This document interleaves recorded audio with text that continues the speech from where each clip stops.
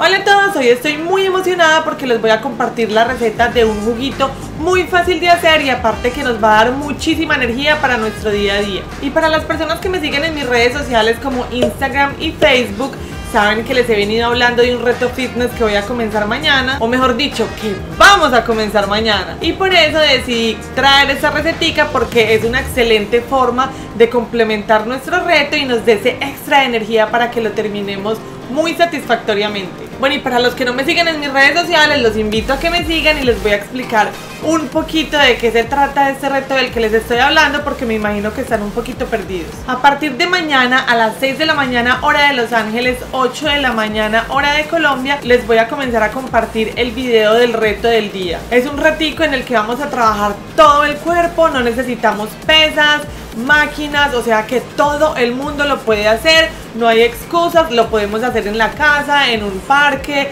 o hasta en el mismo gimnasio, en algún espacio que encontremos libre. Y vamos a estar utilizando nuestro peso corporal o sea que nos va a ayudar a tonificar a moldear esos musculitos rayar y sobre todo coger mucha resistencia. Bueno todo el mundo lo puede hacer y yo estoy segura que van a empezar a ver resultados y se van a comenzar a contagiar de este estilo de vida saludable. Bueno, no siendo más, nos vamos con la recetica, pero ojo, preparen la pinta deportiva desde hoy y los que no tengan los ingredientes en su casa de esta recetica que ya les voy a mostrar, vayan a comprarlos para que comencemos lunes con toda la energía, reto y yo sé, estoy completamente segura que les va a encantar. Los quiero mucho y los dejo con las imágenes. ¡Chao!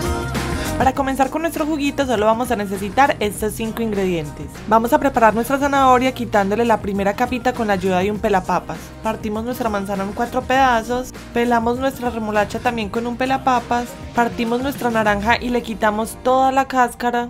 Y con el limón es opcional, puede ser amarillo o verde. Y hacemos exactamente lo mismo, lo partimos y le quitamos la cáscara. Y ya teniendo todos nuestros alimentos preparados, los vamos a meter al juicer o a la licuadora para tener un smoothie.